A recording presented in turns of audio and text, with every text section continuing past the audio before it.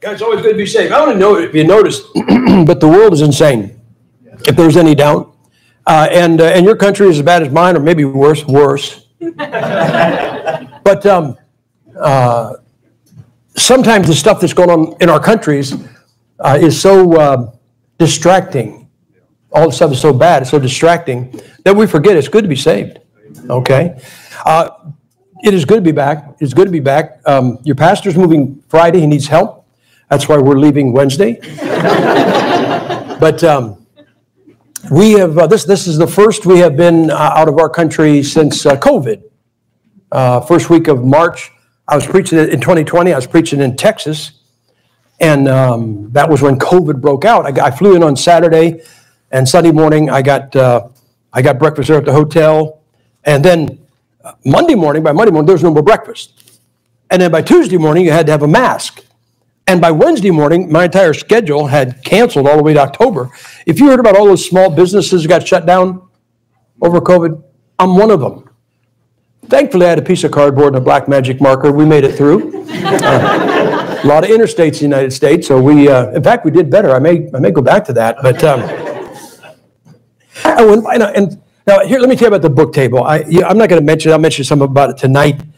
Uh, I want to explain why we have a book table. Some folks don't, don't understand, but we only have a book table for one reason. We are desperate. All right? Uh, so you, you don't have to go back there and buy anything. You can feel free just to go buy and leave money. Um, your pastor said that uh, if you wanted to give to us to, to put our name in it, uh, and I just want to say whoever's counting, uh, you know, I don't want any of your money. You don't, I know you don't want any of mine. But sometimes people do spell GIPP in Greek T I T H E. So, you know, I just want to get what's mine. well, all right, it is, uh, it is always good to be saved. We love the Newmans, we really do. Uh, to get that come up here uh, is so good. We always look forward to them. They pray a lot for us. That's why I'm here, really is. And so uh, we are very thankful. Uh, good to see all you folks again. I know you didn't know I was going to be here. That's how you came. But um, uh, it is good. Well, we'll talk to you. Why don't you open your Bible to Revelation chapter 1? Revelation chapter 1. I'm not preaching out of that. I just want to see if it's in your version.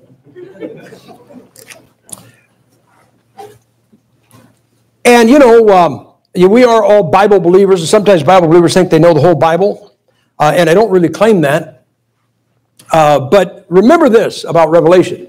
I don't care what you believe about Revelation. Nothing in Revelation has taken place yet. Nothing. So, well, I got this. Well, you can take what you want. Uh, and it starts out this way, verse 1. It says, Revelation of Jesus Christ, which God gave unto him, to show unto his servants things which must shortly come to pass. And he shall, uh, and he and he sent and signified it by his angel uh, unto his servant John. Let's bow our heads and let's talk to the Lord. Father, it is good to be saved. It really is. And Lord God, um, you know, you, you blessed us all, putting us in good countries. These are good countries, Canada, United States. To, you, you let us have a good way of life, and we all praise you for it. But God, help us not to get so caught up uh, with everything that's going on in this world that we forget that it's always just good to be saved. So we thank you, God, for your kindness and your goodness. Asking now, Father, uh, to be in this service, Father. These people here, they came here for two reasons. They want something from you, uh, and they want something from your book. And I am the main obstacle to that. So I'm asking you, God, to get Gipp out of their way, out of your way, and speak to the hearts of your people, God, and accomplish your purpose in each life represented. In Jesus Christ's name I pray. Amen. Um, I got to I got to tell you this. I just uh, offhanded. I, I had a surgery on my vocal cords in 2021, and it didn't come out like they thought it would. I can still talk, um, but uh, but yeah. Yeah, my wife got me this guy. I don't, I don't, I'm not sure how that happened, but uh, uh, because that, I end up eating these a lot uh, just to keep it all working. So if you see that, uh, they're just uh, those compressed uh, CBD. it gets exciting toward the end of the sermon. It really does, after I take about four of those. Anyway, I'm going to talk to you this morning about predestination. Okay? Now, I am not a Calvinist. Uh, when I say, you know, you say predestination, that's what everybody thinks. Well, you must be a Calvinist. I'm not a Calvinist. Uh, and the reason I'm not a Calvinist is very simple. I was predestined not to be a Calvinist. I, I tried to be a Calvinist once. I really did. And I found not being one was irresistible. So I, I did become a Calvinist. But what I mean by predestination uh, is simply this um, there are some things that are going to happen, and nobody can stop it. Uh, I think you guys remember, like I said, with COVID. Uh, I don't know if you know this, but the greatest power in the world, and everybody can, can possess this power. This is no magic. The greatest power in the world is the power of no. Just say no. Somebody asks you to do a favor. No, no. And uh, down in down in our country, oh, probably 20, 25 years ago, there was uh, there was an let's just figure this was the border of an Indian reservation, uh, and all the people are up in here, and they were going to put a highway through here, and rather than have to go through a mountain or or anything like that, uh, if they could just cut off 25 miles, just 25 miles of highway was going to just clip the border of this where no one was at. They weren't taking the land; it would still be theirs, uh, and they had they went and said, uh, you know, can we can we do that? Of course, they would give them money nothing like they got from the casino, so it didn't matter. But um, uh, and they said no. You say why? Well, because when you can say no, everybody has to appeal to you. Everybody has to be nice to you. That is the power, is it not? Uh, I knew a young man. He was uh, he wanted to uh, to start seeing a, a, pastor's daughter, and this guy said, um, "Write me a twenty-page essay on why I should let you see my daughter." And the guy said, "I'm not doing that." And he left. But see, it's that, that power of no. And, and during COVID, did we not see our governments exercise the power of no? You can't go out without a mask. You can't, uh, you can't go to your uh, to church. You can't go to businesses. Uh, you can't uh, fly without a mask. Uh, and all of that. I mean, governments like the power of no. Is that not true? I'm not preaching against government. Don't worry. That'll be tonight. but um, um, what I'm going to talk to you about are some things that are predestinated to happen, and nobody can stop it. Nobody can say, we're not going to let that happen. I, am the government. I've said no to that. Oh, wow. Could you imagine? Could you imagine, you know, uh, God has something that's predestined in the future, and some government says, well, we've decided that's not going to happen. Well, you should decide something easier than that, all right? Uh, so I want to talk to you this morning about things that are going to happen. I want you to go, if you will, uh, to Titus, the book of Titus, and chapter 2. Now, I, I don't know about you. I got saved. Uh, I was a Roman Catholic before I got saved. I was, a, I was a Roman Catholic. I was a drunkard. I was a thief. I was a Democrat. and, um, uh, and, and when I got saved, I didn't know anything about the Bible. When, they, when I heard people talk about the Lord coming back a second time, I really did. I thought, He's going to be born in a manger again? And he's got to die on the cross again? That's what I thought. I it, it, it astounded me. I, I honest, believe me, uh, the italics in the Bible, I thought they were for emphasis. So when I'd read that verse, I'd say, I go, why did they emphasize that word? I just didn't understand it, okay? And so I got this thing down. Uh, in fact, I almost didn't go to Bible college. Um, the, I got saved in a church very much like this one, except it was 5,000 people. Now, that's either a big church an aircraft carrier or the capital of South Dakota. and um, uh, I almost didn't go because in this, I got saved in 1970, and we were so ready for the Lord to come back. Every time we heard a loud car horn, we were three feet off the ground. I mean, just we're ready to go. Uh, and I and when I got saved, I talked to the I, I told the guy that um, led me to Christ. I said, I think God wants me to go to Bible college. And he goes, Where are you going to go? I said, I'm not going to go. And I wasn't fighting God, guys. Really wasn't. he said, Why not? And I said, Well, the Lord is going to come back before I get out in 73. And I said, I, I want to I don't I want to be doing something for God when he comes back. I don't want to be sitting in a in a classroom doing Greek participles. Somebody told me one time, he said, Gipp, you know what a participle is. But I know what a participle is. It's half a sipple. and um, and he only told me, he told me the best, he gave me the best advice I could ever get. He said, if God wants you in Bible college, that better be where you are when he finds you. I thought, boy, that's good. And I went. And now, I started in 1970, but I gotta be honest with you. When I started, I did not think that I would graduate. In fact, after a while, a whole bunch of people uh, thought the same thing. But, um, but I graduated. But I knew that I would never get married because the Lord was going to come back. Next month, we uh, celebrate 52 years. But I knew we'd never have any children because the Lord's going to come back. We had three boys. But I knew they would never grow up. I think I was right about that part right there. you would have to know those three boys. Uh, I don't think any of them grew up. But we all talked about the rapture. You heard about the rapture, correct? We're waiting for the rapture. Uh, and then every now and then, do you ever get somebody go, well, the word rapture is not in the Bible. I said, well, neither is Trinity, but the Trinity is. If you don't want to call it Trinity, call it the Godhead.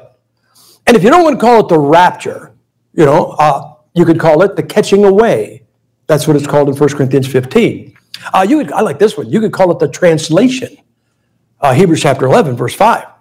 Or, here look at verse 13, looking for that blessed hope and the glorious appearing uh, of the great God and our Savior Jesus Christ. Well, isn't blessed hope a nice, a nice name? That is a nice name. Um, you know, down in our country, you've seen what's been going on. Uh, it is uh, it is definitely insane. And um, we have a good constitution. We really do. Uh, and I like uh, I like President Trump. I hope he gets in. I'm surprised. I'll be surprised if he's alive. I, uh, I said that before they ever tried to, to hurt him. But um, you know, the people I feel sorry for in my country, the most are lost conservatives, because their hope is Donald Trump and the United States Constitution. Well, that's not my hope. I, I hope he gets in. I hope it all works out good. But isn't it funny that, that they use that word, hope, and then our God said, yeah, but you know who gave you? He gave you a blessed hope. That's pretty good. So the rapture is going to come. Now, uh, could you imagine if uh, uh, Trudeau tomorrow issued something down in our in our country? Uh, our president can can uh, issue a, an executive order which overrides Congress, everything, just like a king. I don't know if you guys have that here or not, but you ought to go to states and get some of those. They're really handy uh, for, for the leader. But could you imagine if Trudeau, Trudeau got it tomorrow and said, hey guys, uh, we've decided that the rapture is not going to happen.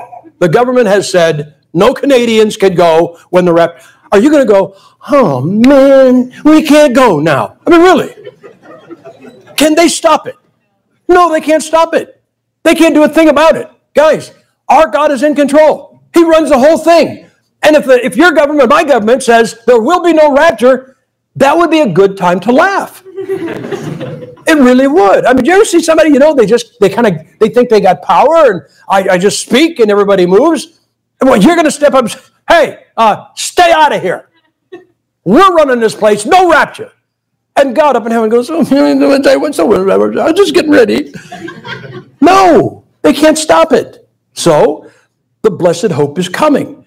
And now I, I want you to know, I may believe something a little bit different uh, than, than most Christians on this, but um, I have Bible for it. I twisted the scripture really well to get this, so I hope you appreciate what I'm about to do. But I want you to go to Acts chapter 1. Acts chapter 1.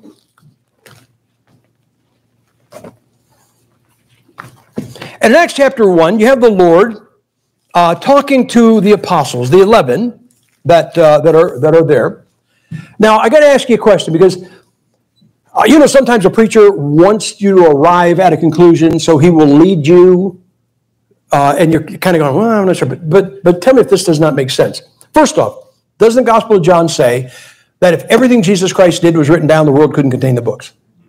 So does that mean there's a whole lot that he did that's off the books?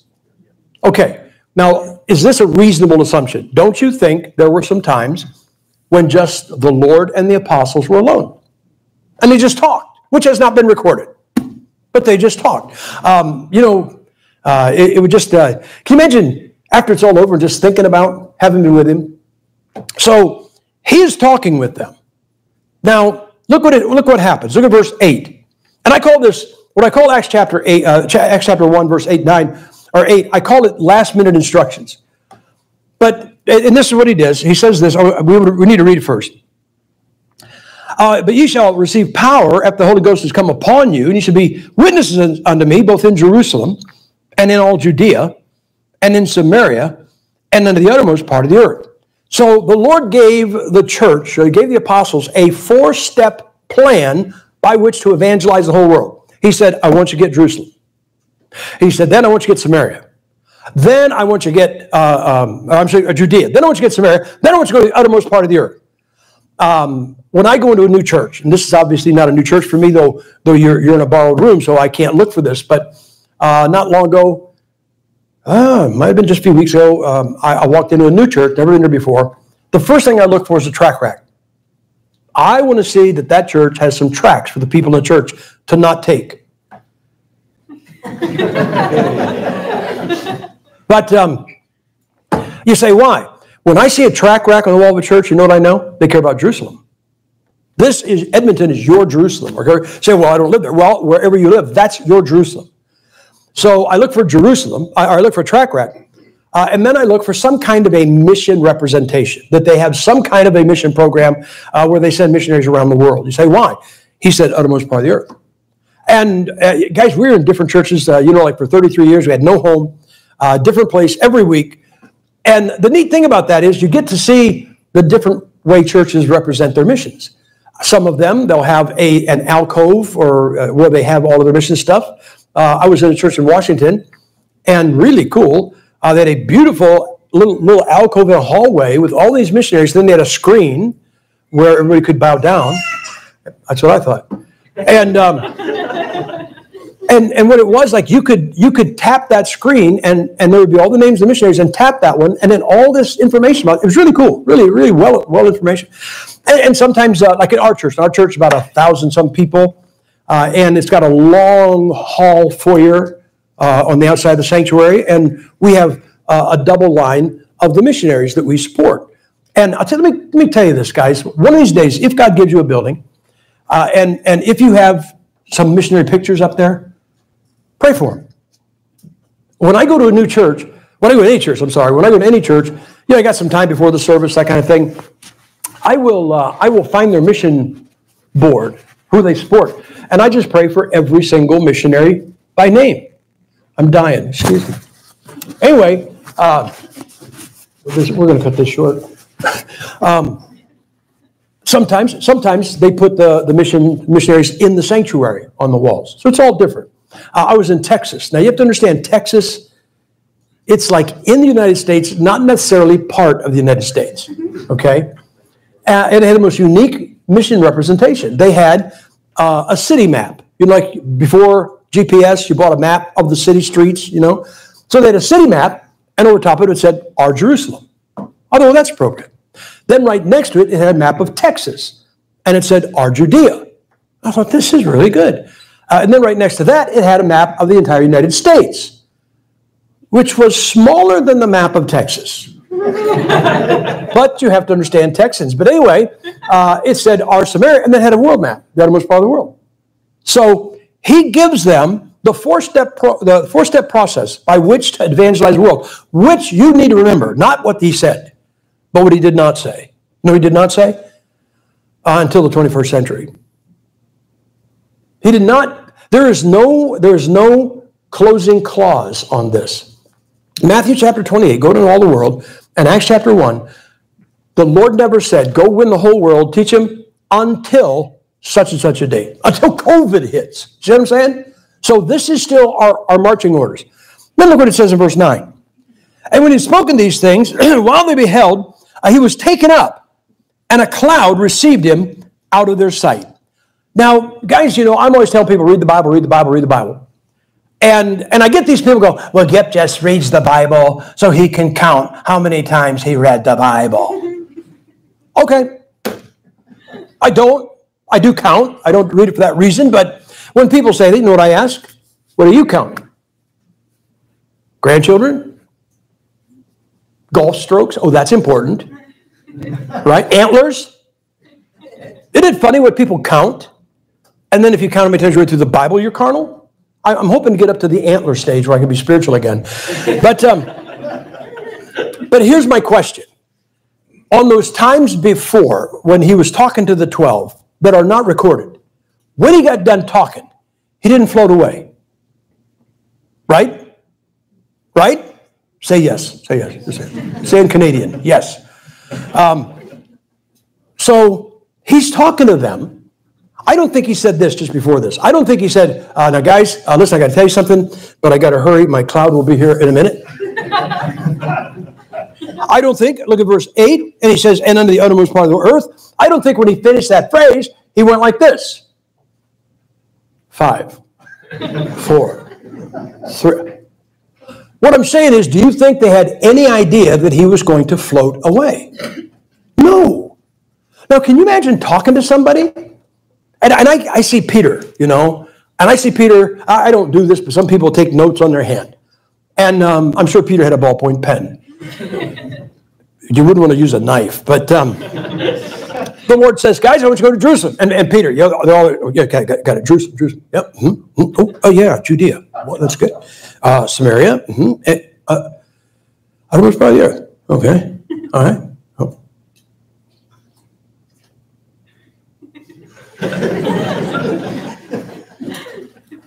Isn't that what happened? There's, he doesn't say, I'm going to leave. He just got done talking. He'd gotten done talking them many times. But this time, now, if you were talking to somebody and they floated away, do you think, it didn't say they watched him to into the cloud? I can just see this. Into the cloud, he goes, okay, guys, he's gone. Want to go fishing?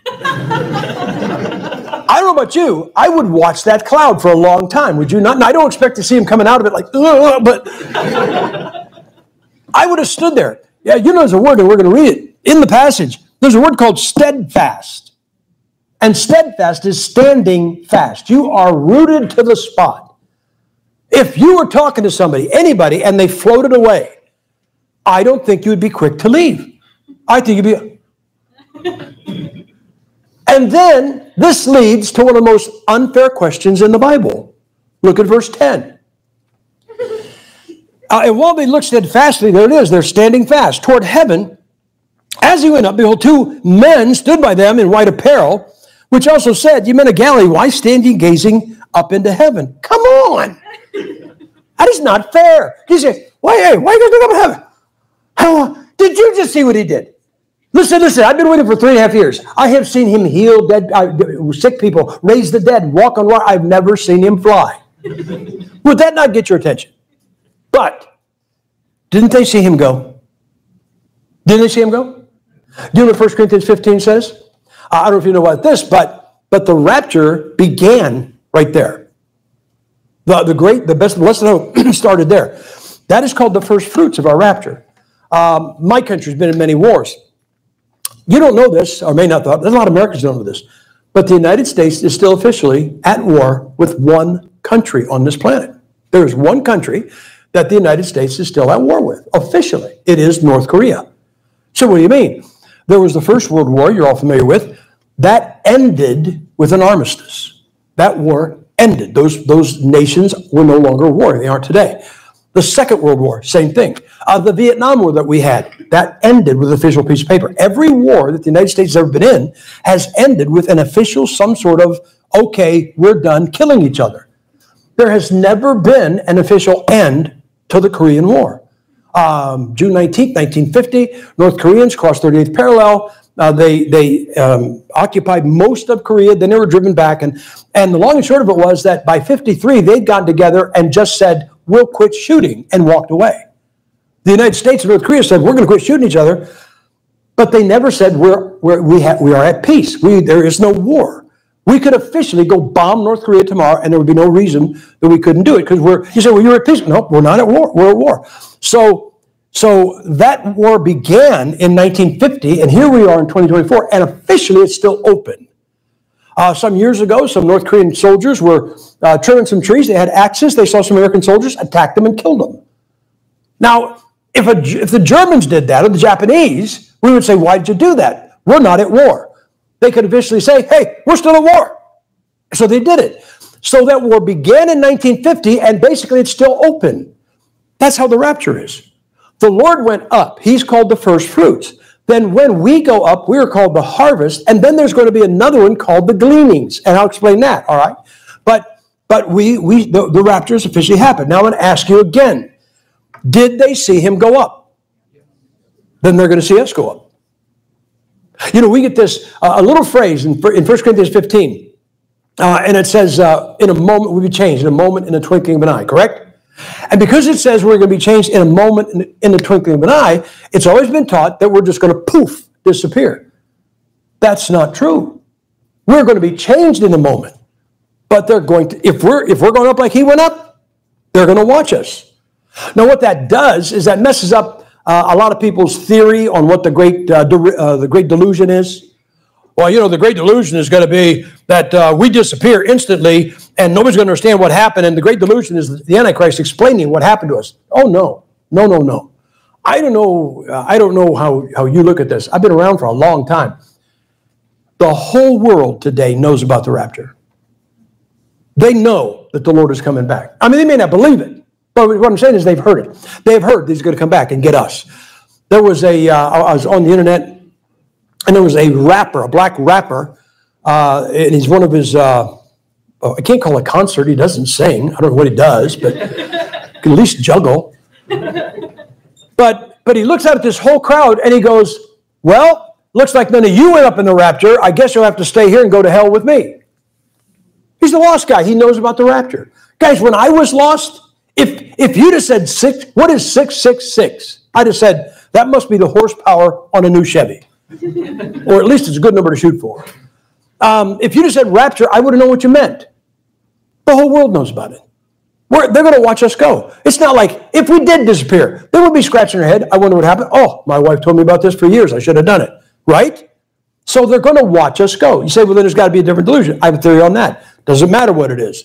But the fact is that the Lord is coming back and he is going to take his church out of this world in what's called the blessed hope and the government, not my government, not your government, not one government on this planet can stop it.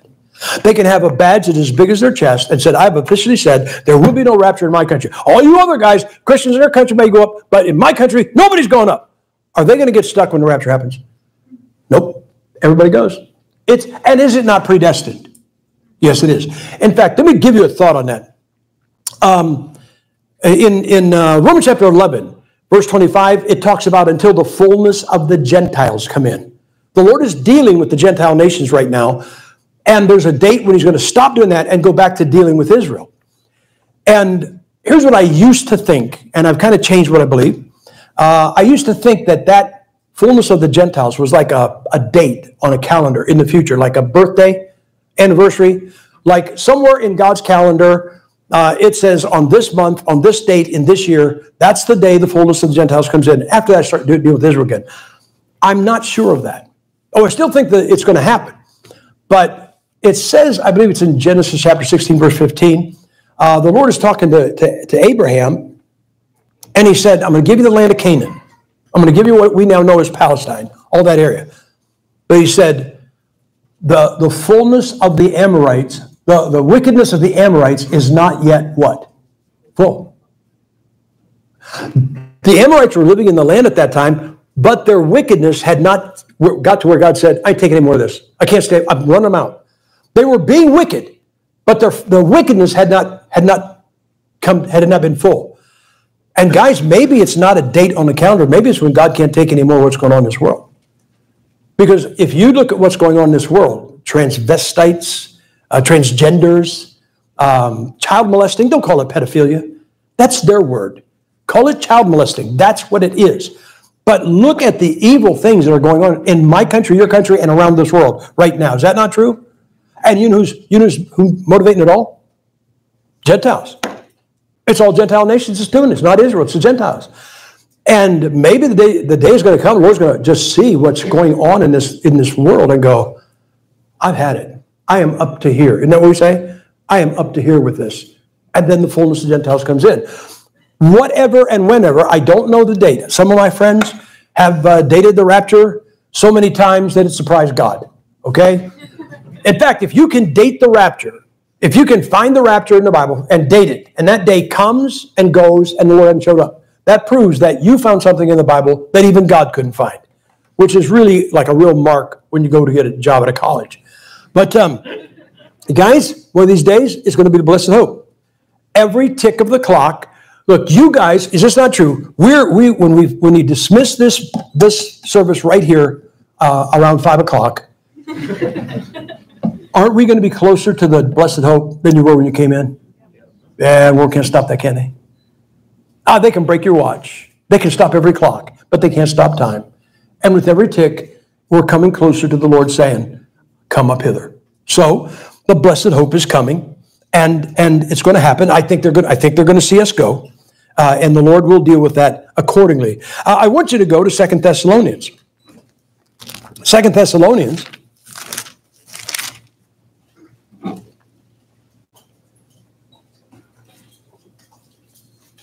And it says this.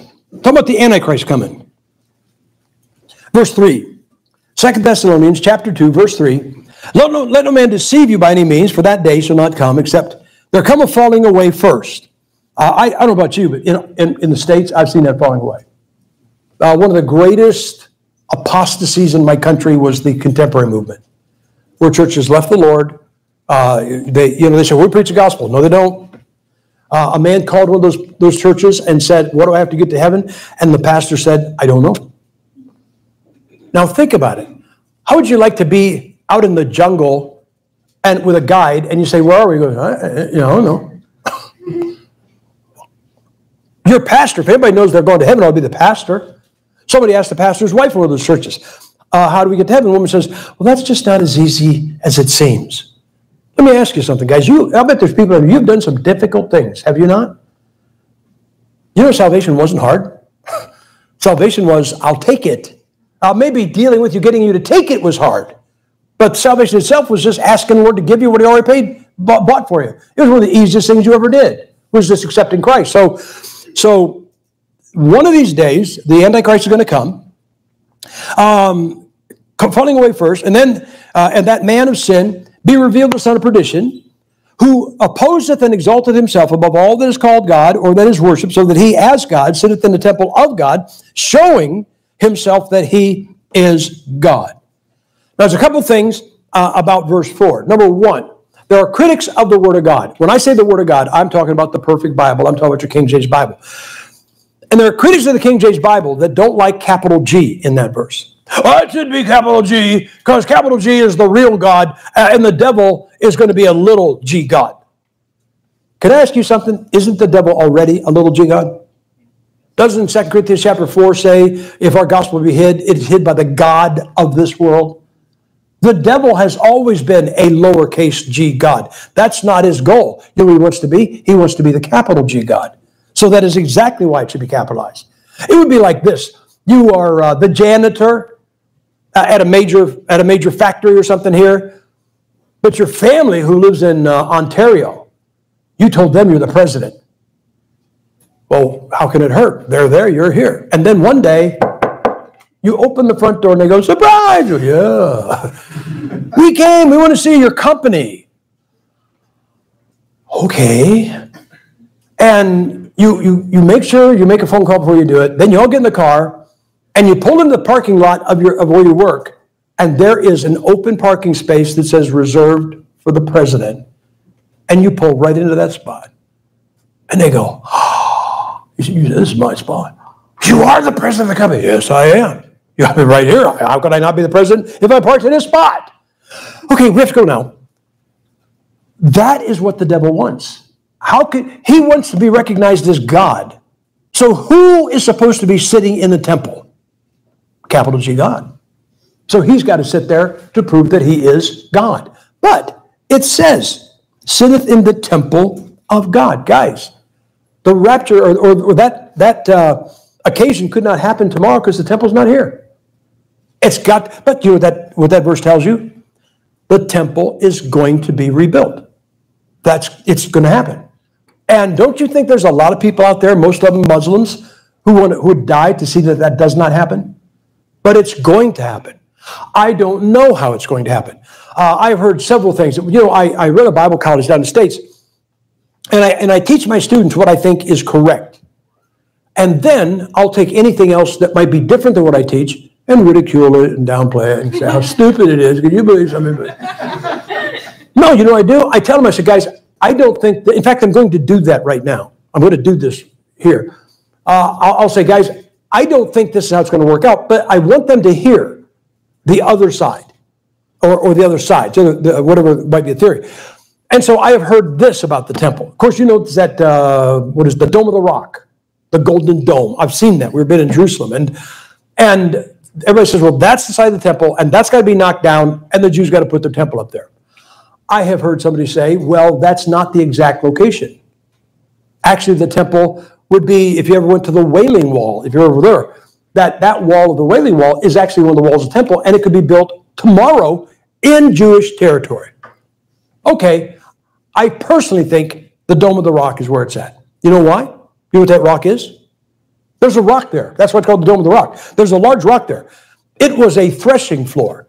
It was where a farmer took his wheat and beat it against that rock, and the, and the chaff was blown away, and he got the wheat off of the rock. That's what that rock was for. That is the rock of Genesis chapter 22 when Abraham was going to offer Isaac unto the Lord. That is the rock. So I think that is where the temple was, and I think that's where they're going to put it. But then I heard this. I heard a guy say, the Jews don't have to build the temple. Well, it doesn't say it's going to be a temple, but they got, to, they got to build a temple. Now, when I say build a temple, I'm talking about an edifice. I'm talking about huge stone put in place, mortared. You understand what I'm saying? Okay. This guy said they don't have to build a temple. I think they got to build a temple. All they have to do is put up the tabernacle. I thought, the tabernacle is a tent. The temple is a building. That they're not the same. Uh, let me ask a question. Um, have any of you ever been to Lancaster, Pennsylvania, in the United States? Way on the East Coast, you have. Okay. In Lancaster, a lot of Amish people. You guys know what? Uh, Hutterites? Okay. We call them Amish. We also call them get out of the way, you're, you're driving too slow.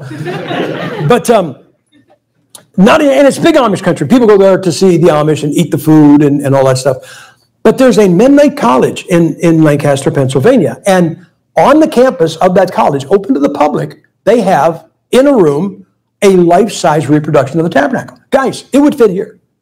It probably wouldn't fit, the ceiling is probably a little too low. But it would fit. It, I don't think it goes from back of that piano to that piano there. That's about the, it was us. It was not big. It had to be portable. And so they've got this life-size reproduction of what the Old Testament tabernacle looked like. You know what's really great? And you know, I, again, I don't know what you know about Mennonites, but in, in our country, Mennonites, they go from one extreme to the other. They go from looking like Amish with their horse and buggies and everything, uh, all the way to looking like you and me, and you would never know there's any difference. Um, and, and this, they've always got some old order Mennonite man or woman, old woman, old man, never young, who is as saved as you are. And you ought to, you, it's worth going just to hear them give the gospel. I mean, they just about preach. Do you know who gets the gospel in Lancaster, Pennsylvania? Jews. Jews have never seen their own tabernacle. And when they, if they're visiting Lancaster, Pennsylvania, they hear there's a, there's a tabernacle at this, this college, I'll go and see it. And i have been in there. I remember this one old uh, Mennonite lady, and, and I got about three guys with the little, the little doily on his head. And this lady is, I mean, she has all but given an invitation. I mean, she has given the gospel. Isn't that good? I think that's good. Well, this guy says all they got to do is put that up. Because I don't care how fast they work. Isn't it going to take some time to clear the site, put a block, put a block, put a block? You're going to measure it all off, make the mortar, Building a building is going to take a while. I still think it's going to be a building. But this guy said, no, all they're going to do is put the tabernacle up, and they can put that up overnight. Temple and tabernacle are two different things. Now, let me ask you a question. I, I think I know the answer. I hope you give me the right answer because I hope you're right. Um, it, do you accept the Bible as your final authority in all matters of faith and practice? Do you? Okay. Now, I want you to know most Christians, when they say that, they don't accept the Bible as their final authority on all matters. They say that because you're supposed to say that. What they accept the Bible as, uh, it's where I get my doctrine from, and it's where I find the verse that proves that I'm right and the guy that I argued with is wrong. That's what the Bible is for, to show the brother why I'm right and you're wrong. Um, but it is our final authority in all matters, all matters of faith and practice. Now, I want you to open your Bible. I want you to go to a good a book with a good, honest sounding name. Go to 1 Samuel. Go to 1 Samuel. Well, it was slow getting through there, I'll tell you what. I'm worried about the crowd, okay? And you know the story in 1 Samuel, there was Hannah. Hannah could not have any children. She was grieved. She was praying, asking God to give her, give her a child. And look what it says in verse 9. So Hannah rose up after they had eaten in Shiloh and after they had drunk. Now Eli the priest sat upon a seat at a, by a post of the, what's your Bible say? What's the word? Temple. You know what he's sitting by? Guys, this is a century before the temple was built. This is 100 years. In metric, that's 145 years. That is, it's 100 years before they built the temple, and, and the Lord just said, This guy sitting by the temple when he's sitting by a post of the tabernacle. So, my final authority, this book, your final authority, did it not just call the tabernacle the temple? Uh, Bible says if God says something twice, it is established. Look at chapter 3. And in chapter 3, look at verse 3. And there the lamp of God went out in the temple of the Lord, where the ark of God was. So twice our Bible, our final authority, called that tabernacle, that tent, twice God called it the temple. Now, with that having, having said that, I still believe they're going to put up a stone edifice. I believe they're going to put up, the third temple is going to be grand.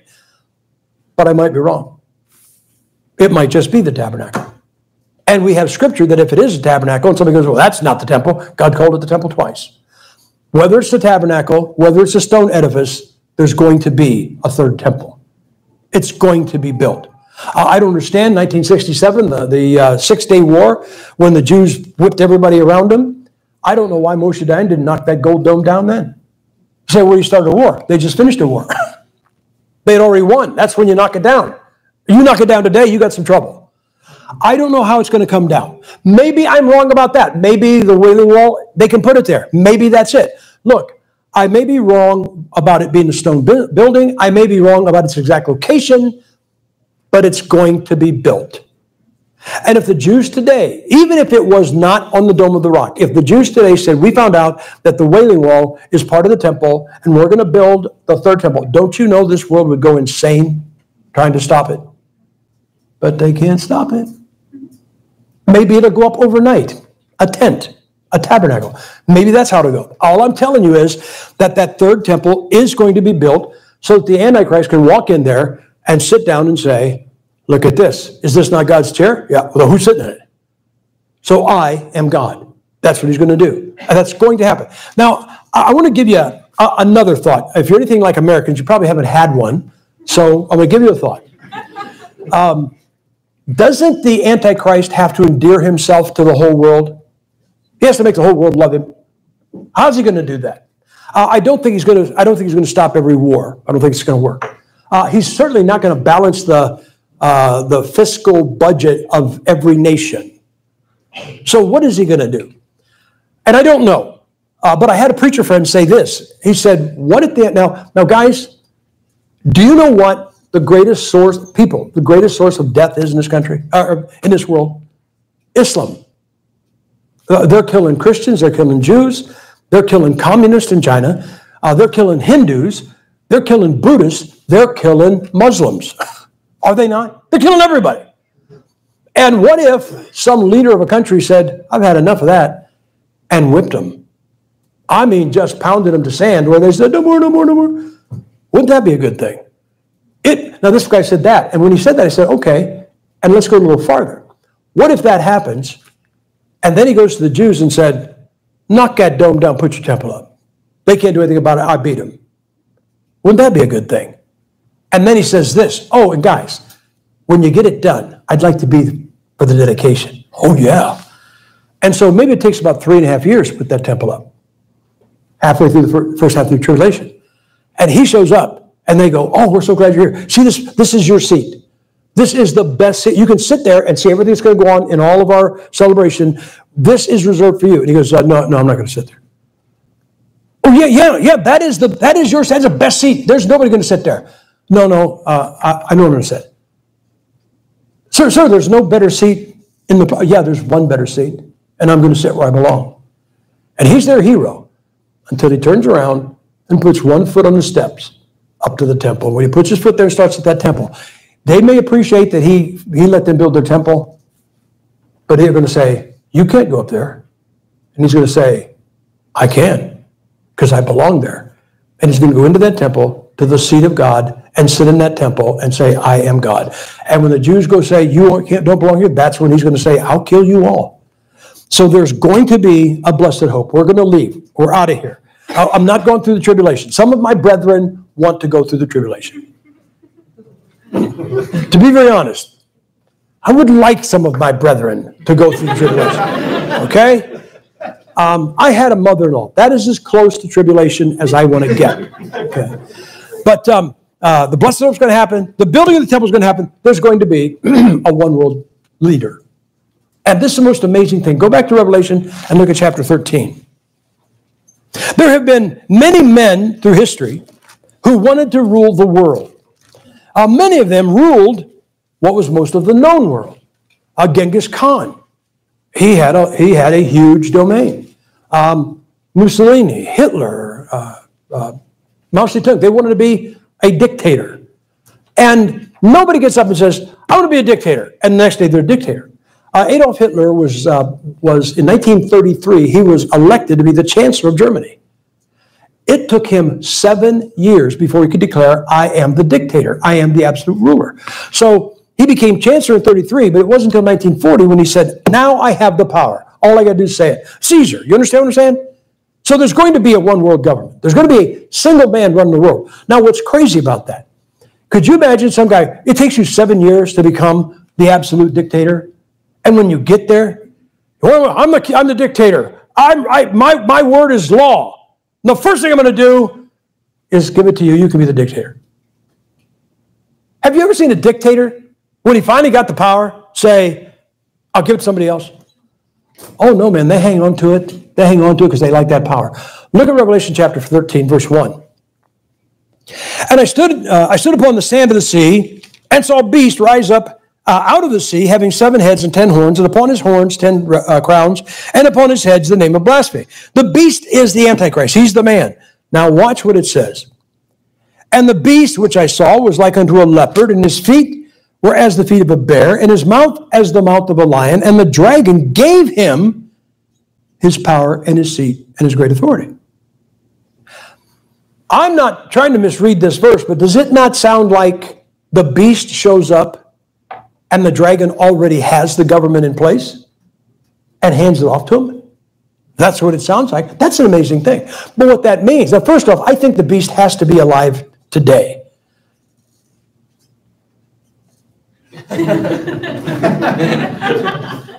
Just checking. Um, but he does. I mean, if the, if the beast isn't alive today, guys, we aren't going up for a long time. And I do believe that we will see him. I do not believe he'll go through tribulation, but we may see him, him rise. But before he gets into power, there's got to be the dragon. Now, we know the dragon is the devil, but he has an organization down here. Now, you can call it whatever you want. You can call it uh, the Illuminati. You can call it the Bilderbergers, the Rothschilds, the Rockefellers, the Democrats. Call it what you want, but they are working. Did you not see during COVID how suddenly world governments became absolute powers, and especially in European nations. I mean, nothing was worse than Australia. They put them in camps and got mad at them if they if they went in that camp to where somebody else in that camp was. They couldn't even go out of their place uh, and talk to somebody else in the camp. They were prison, prison camps. Uh, there's word that they're building those now in our country, which I thought was crazy because back in 1970, I heard they had them. But it's crazy, okay? But I think what we're seeing, if you wonder what's going on, I think we are seeing the dragon assemble the one world government. Uh, in our country, our, uh, the guy in the White House, he's not the president, he's the resident. and he signed some kind of an order that if there's another pandemic, you remember how COVID was and how they shut you down? That's why I'm here. I'm here because uh, Brother Joe knows, and I, I preach for Brother uh, uh, Carlson and when, when they shut down COVID, I said, I am not letting them put a needle in my arm. And I'm not coming to Canada, give them 2,000 bucks and sit in a motel for two weeks. Just not happening. I'm not doing that in any other country. So I just, we stopped international. This first has been international since uh, 19, uh, 2019. And so I'm not doing it. But when they relaxed those, I said, now we're going to go. But it was in, it, the, the world is putting the, the one world government together.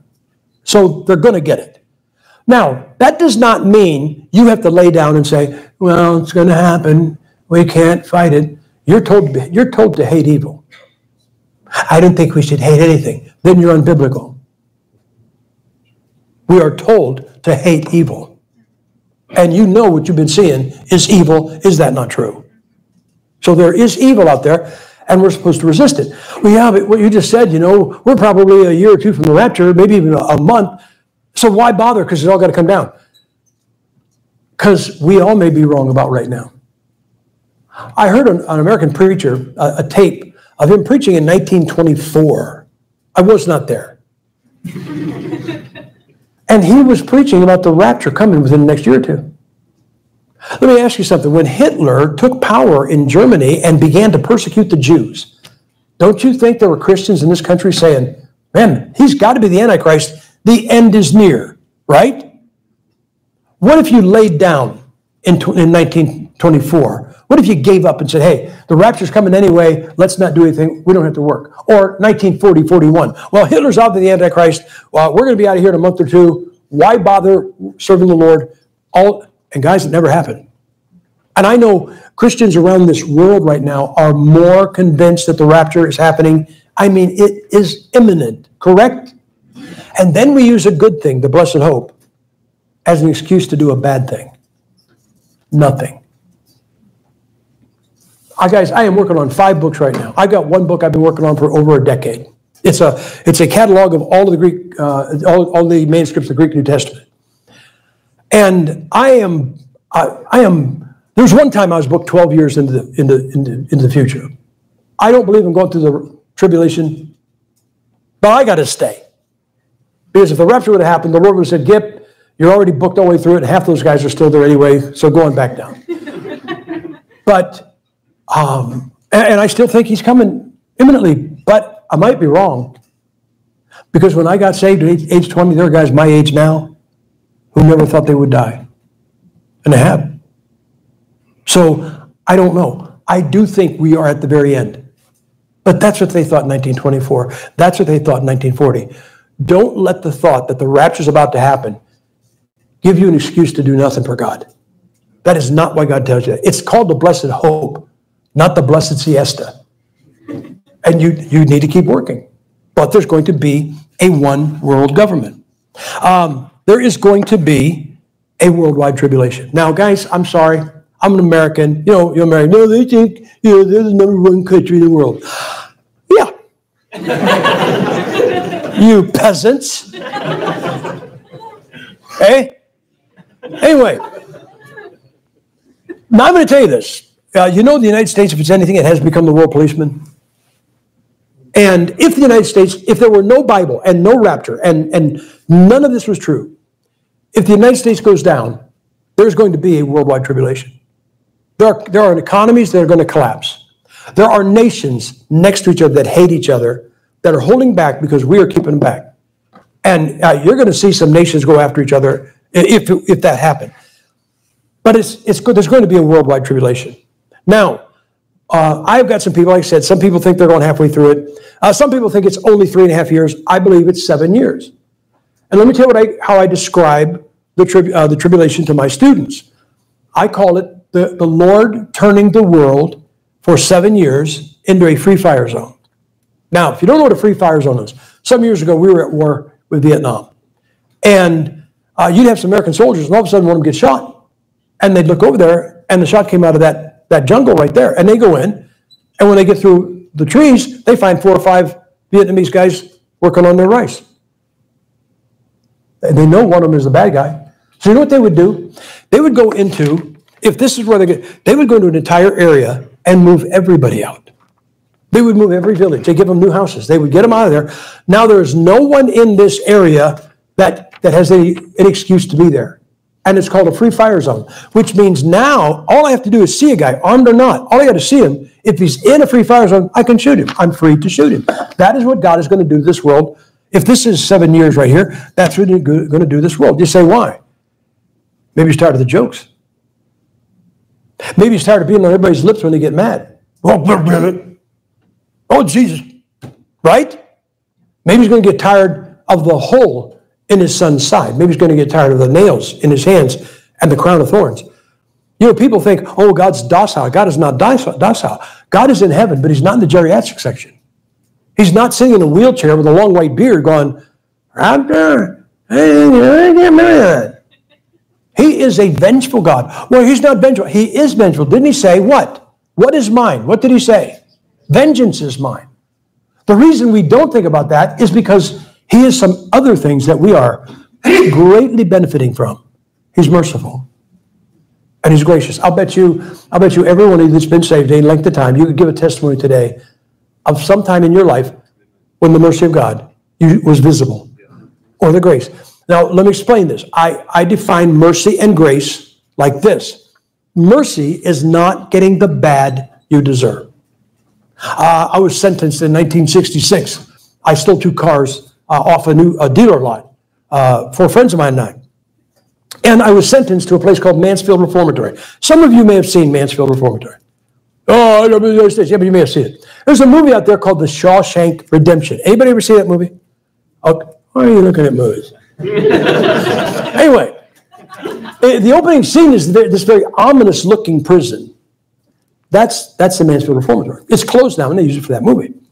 And um, the, the, uh, my judge, he sends me to six months in that place. And then he said, but I'm, gonna, I'm not to send you, I'm to make it two years probation. That's called mercy. You understand? Um, when I was uh, 19 years old, 19, 1969, about right about a year before I got saved, uh, four friends of mine and I we just closed a bar. We were drunk, and uh, it was raining, and we got this guy's Mustang, and he was airing it out. I mean, a driving rainstorm, and he got a piece of straight country road, and he, I can still, he was screaming. We got to this long straightaway, and the road made a left. And we made most of a left, but not enough. And, uh, you know, I remember tumbling and bouncing, uh, and ultimately the car ended up on its right side. Um, one guy was half in, half out. I got busted up uh, in that car wreck. And the, the insurance man that I saw maybe sometime after that, uh, he said, Here's what you guys did. He said there was a concrete conduit, and he said, a culvert, and he said, You peeled 40 feet of concrete like a sardine can. And he said you hit it head on. And at the end of that, I don't know if you have them here, uh, but, but many, many years ago, what they they make a storm sewer, and it looked like a brick chimney with a manhole cover. At the end of this conduit, that was one of those. And he said, when you hit that, you shattered it and then started end over end. So we tumbled end over end, side over side, came to rest. Now, I'm about to say something, and somebody in this room is going to want to say amen, and I don't want to embarrass you. So do not say amen. Please don't say amen to what I'm about to say. People have that kind of thing happen before they're saved. And if I'd have died that night, I'd have gone to hell, correct? Now don't say amen with it. Don't, don't, don't say amen. And we say, but by the grace of God, I didn't go to hell that night. Nope. By the mercy of God. If I had died that night, I would have gone to hell, correct?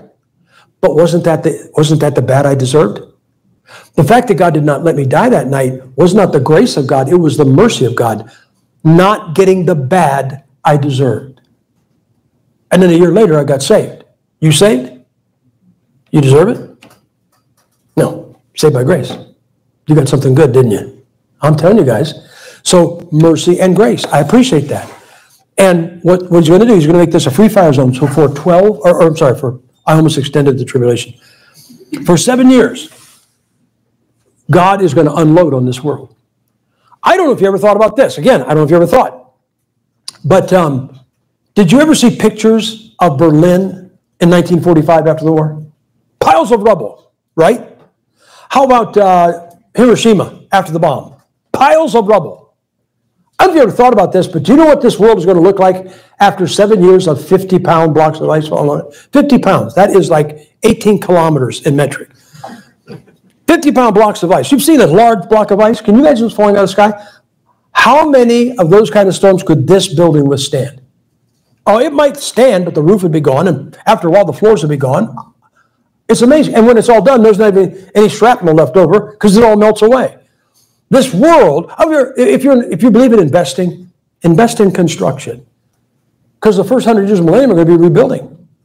And this world is going to be a free fire zone. But as I told you, before our soldiers turned an area in Vietnam into a free fire zone, they went in and removed the innocent citizens. So before God turns this world into a free fire zone, what he's going to do? He's going to remove the innocents. So we go up, then there's a seven year tribulation. Um, I believe this. I believe that, um, well, I'll tell you, I do believe there's a mid tribulation rapture. It's not ours. We're going to be going, listen, when this rapture happens, right in the middle of tribulation, you and I will have been in heaven eating fried chicken for three and a half years. I like that idea. So, so what are you talking about? Uh, I want you to look at Matthew chapter 10 and get, uh, well, we'll look at Matthew chapter 10 first.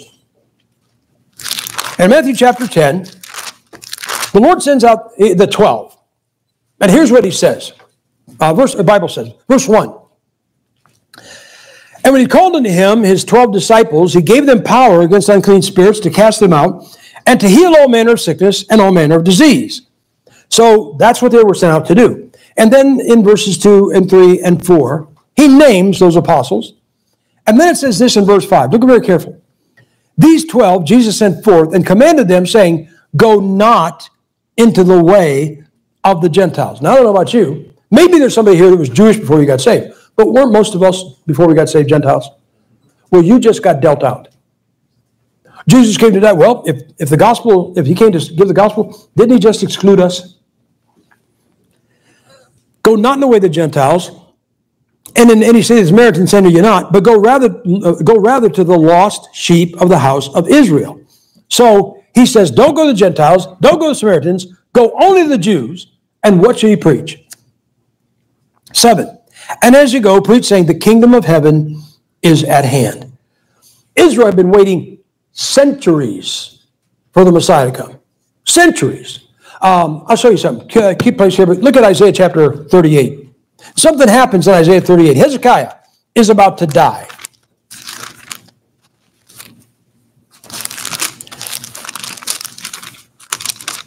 And Isaiah chapter 38, look what it says, verse 1. In those days, Hezekiah was sick unto death. And Isaiah the prophet, the son of Amos, came unto him.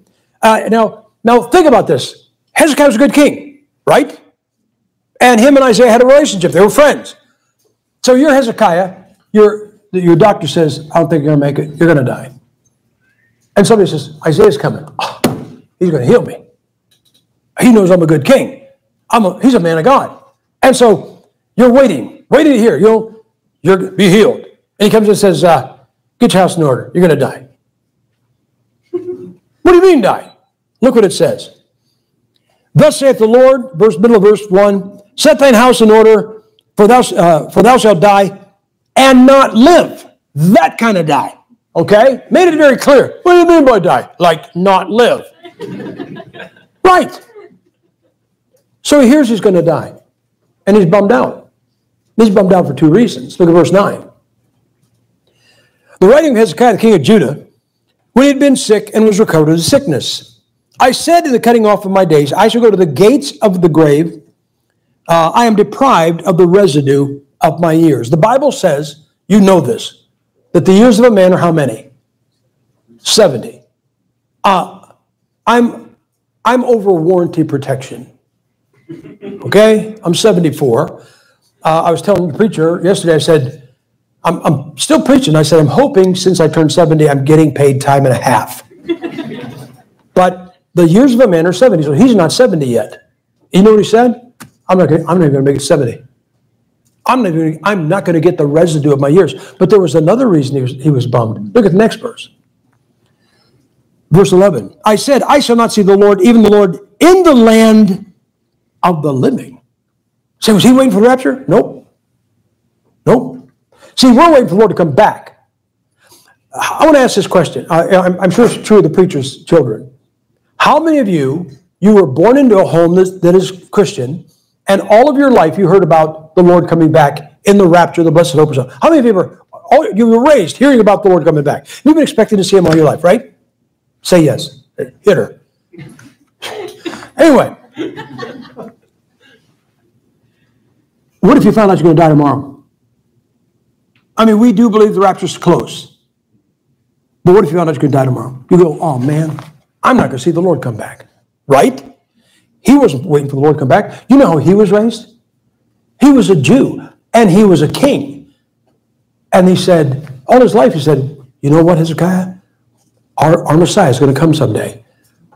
and you might be the king sitting on the throne when it happens. You know what I think would, must have been like? Can you imagine being the king and the Messiah comes in and you get to be the one to take the crown off your head, put it on his, and your robe and put it on his back, have him sit in the royal throne and get on your knees and say, My Lord and my God. He was looking for the first coming of the Lord and he thought, I'm not going to see it. He didn't. It was uh, about 700 years away. But all of his life, he thought that was going to happen. So all of our life, we've been waiting for the rapture uh, to get out of here. So you're going to have seven years. Now, here's what I believe, and you can believe what you want. You can disagree with me, okay? Just don't come and tell me, because I don't care. I'm tainted, I'm bent, I'm crazy. I'm not interested in what you think. Uh, people always say, oh, you know, I, I think you're wrong there. Well, tell the chair. it's about as bright as I am, and you'll get about as far with that with your complaint. Um, there's going to be a there's going to be a uh, ministry of Moses and Elijah. Correct? Say yes. Say yes. Okay. It's going to be three and a half years. Look at uh, look at Revelation chapter eleven. Oh wait, wait! Don't don't leave ten. Don't leave Matthew ten. We got to look at a little thing. Look at verse twenty-two. He's telling what's going to be going on uh, in the tribulation. Uh, and ye shall be hated of all men for my name's sake, but he that endureth unto the end shall be saved. That is not for you and me. That's for people in tribulation. That's for Jews. Now, uh, I, got to do this before uh, before we go to. Uh, somebody remind me. We got to go to Revelation 11. This is Matthew 11, and in Matthew 11 he says, "Go to the Jews. Don't go to the Gentiles. Don't go to the Samaritans." Right? Look at chapter 12. And look at verse 17 that it might be fulfilled which was spoken by Isaiah the prophet, saying, Behold, my servant whom I have chosen, my beloved, in whom my soul is well pleased. I will put my spirit upon him, and he shall bring forth, uh, he shall show forth judgment to the Gentiles. Didn't he just tell them, don't go to the Gentiles in chapter 10? And didn't he just say in chapter 12, we're going to the Gentiles? Look at verse 21. And in his name shall the Gentiles trust. Now, guys, there's no contradictions in the Bible. But doesn't that kind of sound like one? Like 10, don't go to the Gentiles. 12, go to the Gentiles. Make up your mind. He didn't, he didn't make up his mind. Somebody else did. Something had to happen between Matthew 10 and Matthew 12 to get the Gentiles in, correct? Okay, this is going to be uh, maybe a tough question. Our public schools are very bad. I don't know what yours are like. But does anybody, can anybody tell me what comes between 10 and 12? 11. Thank you. A brave soul. 11. Oh, wait a minute. He says in 10, go preach that the kingdom of heaven is at hand. I'm about to set up what we now know, what, what we now call the millennium. Tell the Jews the kingdom of heaven is at hand. then in chapter 12, he says, go to the Gentiles. Go to the Gentiles. Don't go to the Gentiles here, go to the Gentiles here. Something had to happen in chapter 11 to change everything. And I want you to know this. You are holding in your lap the Word of God, and Matthew chapter 11 is one of the most pivotal chapters in history. Chapter 11 of Matthew absolutely changed everything, including the fact that you are sitting here right now, having been Gentiles and being saved. Look at chapter 11. Now, we know that Israel rejected their Messiah, correct? But I don't think they just outly, outwardly just went, ah, I hate him. Let me ask you this. I, I, what I'm asking you, I'm, I'm trying to keep this all within Scripture. I'm not making this up. Didn't even the Lord say there were many that came before him and said, I'm the Christ? Right. So I don't think the Jews just said, I think that guy's him, I think that guy's that. Don't you think there was one of those analytical guys? I hate those mathematicians, but they, they're analytical. And, and, and you know, he knew the Old Testament prophecy better than anybody else. I call him Ivan, okay? And some guy shows up and says, I'm your Messiah. And they go to Ivan. He says, Hey, Ivan, he said he's our Messiah. What do you think? And you know what my, Ivan's got? He's got a list of every scripture, every prophecy that the Messiah has to fulfill. And he goes, uh, Well, I don't know. What tribe's he from? Benjamin. Oh, you're not the Messiah. Why? Well, because says right here's going to be a tribe of Judah. He's not. He's out. Another guy shows up. I'm the Messiah. Hey, Ivan. This guy says he's the Messiah. What do you think? What tribe? Judah. Well, okay, okay, that's a yes. Um, but not just Judah, he's got to be from the line of David. Is he line, line of David? No. Oh, not the guy. This guy, Jesus, shows up. Hey, Ivan, you think he's the Messiah? Well, I don't know. What tribe? Judah. Okay. We always got that right. Oh, yeah, but, he, but he's got to be of the, of the seed of David. He is. Oh, he is? Okay. And one by one, Ivan is checking yes. Oh, you know what? Jesus can't be the guy. Why? Well, because it says the Messiah is going to be born in Bethlehem, and he's from Nazareth. Oh, yeah, he lives in Nazareth, but he was born in Bethlehem. Oh, can you imagine a, a, like a little bit of excitement beginning to build? Every prophecy of the Messiah, Jesus Christ is getting a yes, yes, yes, yes, yes, yes, yes. And he's standing down here, he's got more yes checks than he's ever had in his life. And they say, So, Ivan, you think he's the Messiah? No. No. Look at all those yeses. Yeah, but I got a no here. I can't put, I can't, there's one here I can't change. What is it? It says before our Messiah shows up, Elijah shows up. And nobody named Elijah showed up before this Jesus. In fact, we asked that guy, John the Baptist, Are you Elijah? What did he tell us? No, I'm not. So Elijah never showed up before this guy named Jesus. I can't check yes. He can't be the Messiah. That was the one problem that Israel's faced with. There was no Elijah before Jesus. Now, I want to say this. I say this not disparagingly. I want to say this. Jesus Christ healed many people, did he not? I mean, blind, deaf, dumb, dumb. The Greek word for dumb is demokrato. Um, he was so good, he could heal 10 lepers at once. He raised the dead. Now, I don't want to, I don't want you to misunderstand what I'm about to say, but none of those, none of those things that he did were compassion driven. Oh, he saw somebody blind and he felt bad for him, so he healed him. No, he saw somebody blind and he healed him. Oh, I'm sure he had. But you know what it says? It says in the uh, Mark chapter 6, don't, don't go there, feeding 5,000. He saw them as a shepherd, a sheep not having a shepherd, and he had come, he was moved with compassion. It wasn't compassion about the healings. You know what it was? It was credentials of the Messiah. There were things that Jesus Christ had to do. On Ivan's list was the Messiah is a healer. How do you know? Look at chapter, uh, chapter 11, verse 1. And it came to pass when Jesus had made an end of commanding his 12 disciples, he departed thence to teach and to preach in their cities. Now, when John had heard in the prison the works of Christ, he sent to his disciples and said unto him, Art thou he that shall come, or do we look for another? Who was John the Baptist? Was he not the forerunner of Jesus Christ? Was he not? We now know this. He was Elijah in spirit, not reincarnated, but he was Elijah in spirit. But wasn't he this? He had a claim none of the apostles could make, no one else in the Bible could make. No, he was? He was Jesus' cousin. Weren't they cousins in the flesh? Does anybody here have a cousin? Can you remember who they are? I've had people say, John the Baptist sent Jesus, uh, sent two disciples to Jesus to ask him if he was the one, or do we look for him? He said he forgot who he was. That was some party. Guys, it wasn't he didn't remember who he was. Try to think what you would do. You are in jail, and your cousin, who is the forerunner, you were the forerunner of, who is the Lamb of God, is that what John called him? The taking away sin of the world? Oh man, my cousin's to get me out of here. Jesus, he can walk on water. He can raise the dead. He can get me out of here. I don't know if this means anything to you people. This is a blessing and it warms my heart. Your God has been involved actively in three prison breaks. Hallelujah. we may need that in the coming days. So, what John's doing is he's slapping Jesus in the face. He says, Go up there and say, Are you the one smack, or should we look for another? And look what Jesus Christ, to identify himself as the Messiah, look how he did it. Verse 3 And he said unto him, art thou he? Uh, I mean, uh, I'm sorry, verse 4. Jesus answered and said to them, Go and show John again those things which ye do hear, hear and see. The blind receive their sight, and the lame walk. The te- lepers are cleansed, and the deaf hear, and the dead are raised, and the poor have the gospel preached to them. Those were his credentials. That proved that he was the Messiah.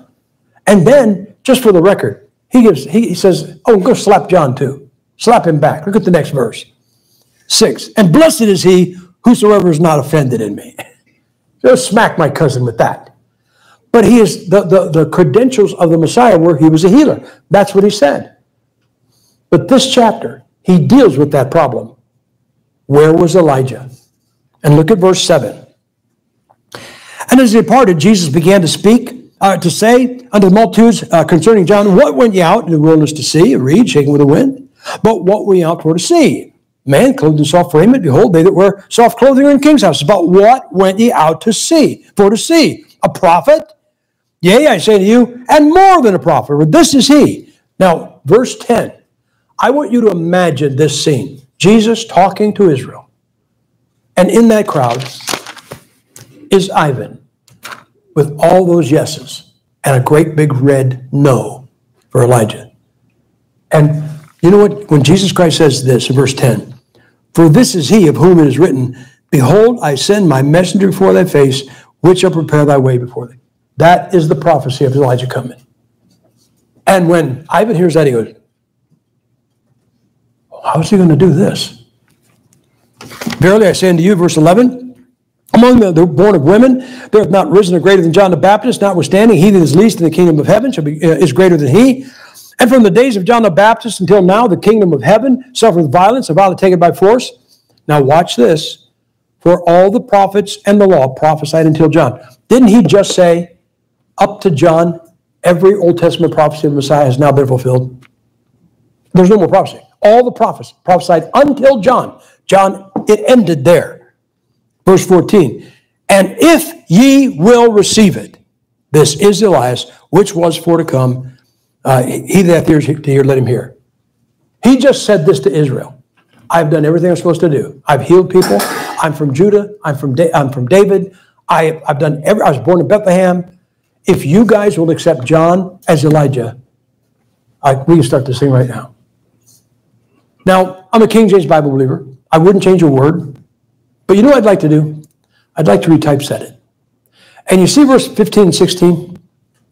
Entirely too close. I would put about a half an inch of white space. I know this. I know you've, you ever, anybody asked you something and you said no? But have you ever said no without speaking? Yeah. You, somebody says it and you go, uh, you know, you ever go to an auction and you scratch your nose and just bought a car? I think Israel stood there like this, with their hands in their pockets going, And with their silence, they rejected their Messiah. Chapter 10 Go to the Jews, don't go to the Gentiles, don't go to the Samaritans. Chapter 11 If you guys will take John as Elijah, we start it right now. Okay, then I'll go to the Gentiles, chapter 12. He's mad in verse 16. Look what he says. But whereunto shall I liken this generation? It is like unto children sitting in the markets and calling their fellows and saying, We have piped unto you, have not danced, we have mourned unto you, and you have not lamented. You know he just said? You guys have, whoops. He said, You guys have asked my father to send me for centuries. You have you have prayed and said, Send the Messiah, send the Messiah. Now God did it, and you just rejected me. And what do we say about a guy that his whole world collapses? We say, Oh man, he went to the dogs. Oh, oh, oh. we were the dogs and we got in. So that, but what happened to the kingdom of heaven? Slipped through the fingers, didn't it? Chapter 10, don't go to the Gentiles, go to the Jews, tell them the kingdom of heaven's at hand. Chapter 11, take John as Elijah, we can start it. They didn't. Chapter 12, go to the Gentiles. Chapter 13, the kingdom of heaven goes into a mystery form and it has remained there. Somebody, again, is going to have to preach the message of the kingdom of heaven that is found in Matthew chapter 10. But it's not going to be 12 guys. Look at chapter 24. In chapter 24 is very similar to chapter 10 because Elijah is going to show up in the beginning of the tribulation. He's preceding the Messiah. Look what it says in verse uh, 3. And as they sat upon the Mount of Olives, the disciples came unto him privately, saying, Tell us, when shall these things be, and what shall be the sign of thy coming in the end of the world? Now, watch this. Preacher, pastor, Pastor Joe, when are you coming? That's a great expression. I mean, he's sitting right there, right? How could I say, Joe, when are you coming? He's there. But isn't that what they just said to Jesus Christ? He's sitting in front of them, and they go, When are you coming? They're finally getting it. They're finally getting the kingdom of heaven is not coming right now, but one of these days you're going to bring it. When are you going to do that? And he says, verse, verse, verse 4, And Jesus answered them and said unto them, Take heed that no man deceive you, for many shall come in my name, saying, I am Christ, and shall deceive many. And there shall, you shall hear wars and rumors of wars. See that you uh, be not troubled, for all these things must come to pass, but the end is not yet. For nation shall rise against nation, kingdom against kingdom, and there shall be famines and pestilence, COVID, and earthquakes in divine place, uh, diverse, diverse, diverse places. All these are the beginning of sorrow. Oh, look at verse 10, by the way. But he that shall endure unto the end, the same shall be saved. That's exactly what he said in Matthew 10. So he's right now, right in the tribulation. And look at verse 14. And this gospel of the kingdom shall be preached in all the world for a witness unto all nations, and then shall the end come. He says, What I did in Matthew 10, I'm going to do again. I sent a dozen guys out and said, Go to the Jews and tell them the kingdom of heaven's at hand. Now he's not going to send a dozen. He's going to send 144,000. Say, why? You know about the flood. You believe in the flood. Everybody died but eight people, correct?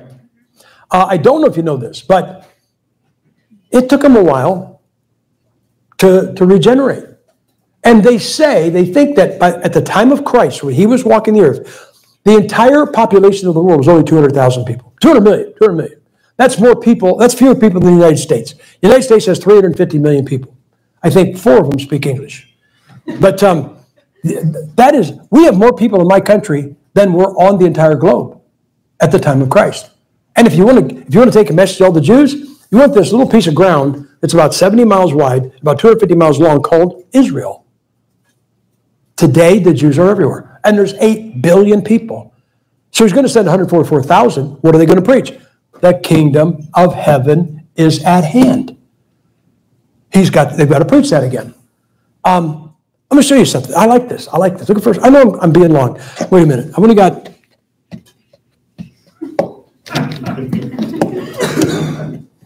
order, order the pizzas. we're going we're gonna be here for a while. Um, you may not know it, but you are going through the tribulation this morning.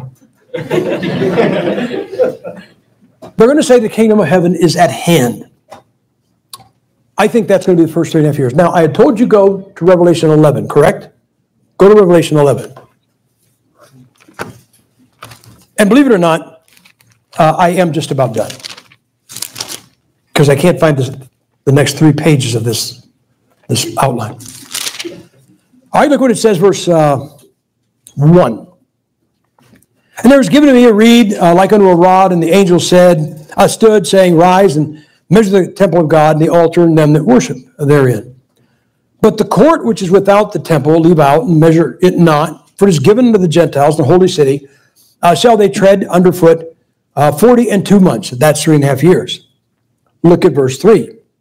And I will give power unto my two witnesses, and they shall prophesy a thousand two hundred and three score days clothed in sackcloth. You know, one of the problems in your Bible is that the Bible will describe a very great length of time in a verse.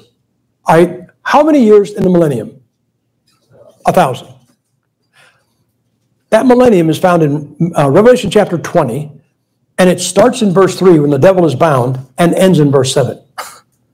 a thousand years, and it's four verses in your Bible. Because what's a thousand years to the Lord? It's like a day. Okay? These guys, we, we think about Moses and Elijah being here, but we don't realize they're going to be here for three and a half years. And they're going to be, so the first, now, now some guys think they come in the first half, some guys think the second. You can believe what you want. I believe the first half. Here's what I believe the rapture happens, we leave. Uh, the Antichrist shows up. He makes that covenant with Israel build your temple, I'll be there for the dedication. The two, the two witnesses, Moses and Elijah, show up in Jerusalem. That's where they, they don't leave Jerusalem, they stay there. So during this first three and a half years, Moses and Elijah are going to be preaching in Jerusalem. For this first three and a half years, the 144,000, who are they going to be? Maybe Jehovah's Witnesses. They're going to be here anyway. They're going to be going around the world saying the kingdom of heaven is at hand. Now, you may say, oh, it's only to Jews. Well, actually, yes. But I have a question. Now, you know about Moses leading Israel out of Egypt, correct? Was everybody that left with him a Jew? I don't know if you ever thought about this. there had to be Egyptians who put the blood of the lamb on their doorpost. They said, Hey, it's not to me, but I don't want my kid to die. And they put that up there. And they said to the Jews, When he takes you out, can we go with you? Yeah. So if you weren't a Jew, if you bought into the gospel of he's going to take us out of Egypt, you got to go too. So I think the first three and a half years, you got Moses and Elijah preaching in, in Jerusalem. Around the world, you have 144,000 going to the Jews saying, the kingdom of heaven is at hand. And some Gentiles are going to sign on. Now, um, you know, you, don't, you may not, well, well wait, wait. I want to show you this. Uh, look at verse 7. Revelation 11, 7. And then he well, uh, when they have finished their testimony, the beast that ascended out of the bottomless pit uh, shall make war against them uh, and shall overcome them and kill them, and their dead bodies shall lie in the street of the great city, which spiritually is called Sodom and Egypt, which all, uh, where also our Lord was crucified. And they of the people and kindreds and tongues uh, and nations shall see their dead bodies three days and a half, and shall not suffer their bodies to be put in graves, and they shall dwell upon uh, the earth. they that dwell upon the earth shall rejoice over them and make merry, uh, and shall send gifts one to another, because they, the two prophets uh, tormented them. Uh, the tor- these two prophets tormented them uh, on the earth. Now, watch verse 11. And after three days and a half, the Spirit of life from God entereth into them, and they stood upon their feet, and great fear fell upon them which saw them. I'll bet it does. Could you imagine being there and all of a sudden Moses' head goes back on the body and he gets up and goes, Oh man, stiff. I feel like I've been laying on concrete for three and a half days. Watch verse 12.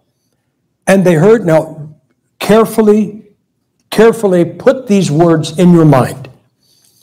And they heard a great voice from heaven saying unto, unto them, Come up hither.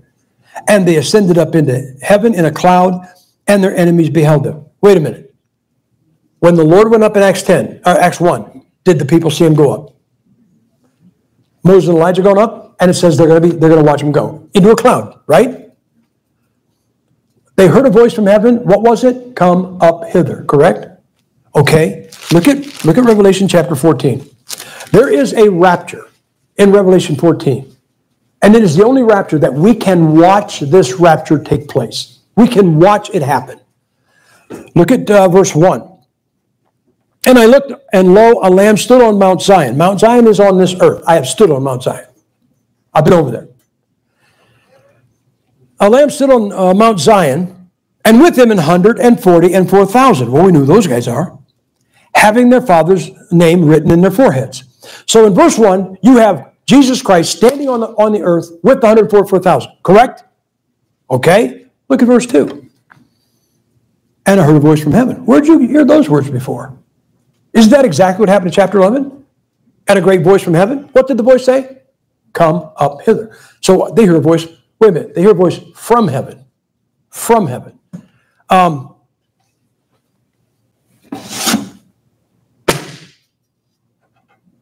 you heard it, right? Where did you hear it? You heard it right where you're at. What if you heard that sound outside the door? You'd be hearing it from over there, correct? Okay, you hear things from where they are not. Uh, I was uh, I was in Knoxville. Oh, I was in Knoxville when I came here, but uh, many years ago, uh, I was in Knoxville, Tennessee. I'm standing outside the the church is built on a hill. I'm standing in the parking lot. I'm looking at the two lane highway uh, at the foot of the, of the thing. Now, have you ever heard a car wreck? There are two sounds associated with a car wreck. Right? You hear the brakes, then you hear the impact. Guys, I am standing looking at this highway and I heard a car wreck.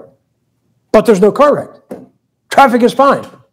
But I heard, I didn't hear the screech of the brakes, I just heard the metal hit metal from above me. And in about three seconds, a car fell out onto me. No, it's not, that's not quite how it went. I looked up. You know what I saw? I don't know if you know what a Remember Boeing, oh, an old Boeing 707? It was a, it was a jet transport. Our military bought those, and they call them a KC-135, and they use them for aerial refueling. Now, in our Air Force, I don't know about the Canadian Air Force, but in our Air Force, during peacetime, planes get damaged. You know what the greatest damage to an airplane is? in peacetime? Wing damage. Because these guys, they're trying to get as close, they're just jocks, they're, they're proud, and they get as close as they can, and end up, they end up hitting wings. We had two F 18s, Navy pilots practicing a head on, and neither one of them would turn. And they hit. At the last moment, they hit. One, it knocked the nose off of it and the canopy. The other one, it damaged the wing. They both piloted them down. They both got them down. But that's that's what they were. I look up, you know what I see? I see two KC-135s, and their flight path is like this. Huh. I think, well, if it's here like this, about three seconds ago, it was right here.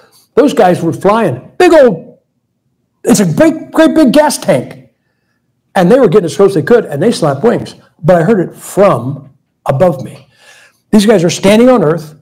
They hear a voice from heaven. Revelation 11 11, that was come up here. Watch verse 2. And heard a voice from heaven, as the voice of many waters, the voice of great thunder, and heard the voice of harpers harping with their harps. Say that 10 times fast. and look at verse 3. And they sung as it were a new song before the throne. What throne are they before? Well, keep reading the verse. And before the four beasts and the elders, and no man could learn that song but the 144,000 which were redeemed from the earth.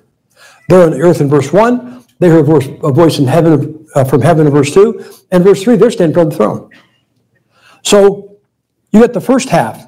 Now, all, all, all seven years is God raining wrath on the world. But at first three and a half, you got Moses and Elijah preaching in Jerusalem. You got the 144,000 going around the world saying, Kingdom of heaven's at hand. And right here in the middle, they hear, Come up hither. Who's going up? Well, we know Moses and Elijah going up. We know the 144,000 going up, and probably anybody who bought in. Okay, I believe it. Kingdom's going to happen. They went up. That's when the, the, the Antichrist gets mad at Israel and says, I'm going to kill you all. And the last half is known as the time of Jacob's trouble. And that's going to happen. And the world can't stop it. Biden can't stop it. Trudeau can't stop it. There's not a there's not a world there's not a world leader. Uh, the the the WEF. You know what's funny? You know what I think is funny. In my country, when they make a movie and they want a villain, they always give him a German accent. We will kill you all. and we have this Klaus Schwab saying, and by 2030, you will own nothing and be happy. I thought, I saw him in a movie. He ought to be saying, well, friends, I'll tell you what, by 2030, you ain't going to know nothing. You ain't going to own nothing. You'll be happy as a, as a pig in slop. this guy's a crowd. All he's going to do have here is to put the swastika where it belongs. This is like a Nazi. So what if the World, World Economic Forum says, uh, guys, we met and the Bible has been disengaged. Nothing is going to happen. Would all of you say, Preacher, what are we going to do? There's not going to be a rapture. There's not going to be a temple built. There's not going to be a tribulation. They can't stop it. I'll give you one last one. I want you to show you a verse. I don't know if you ever saw this verse before, or if you read it, if it ever, if ever, it ever got in. But take a look at Romans chapter 10.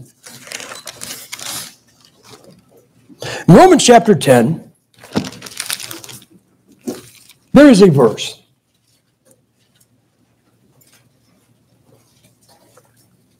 It says this in verse 13 For whosoever shall call upon the name of the Lord shall be saved.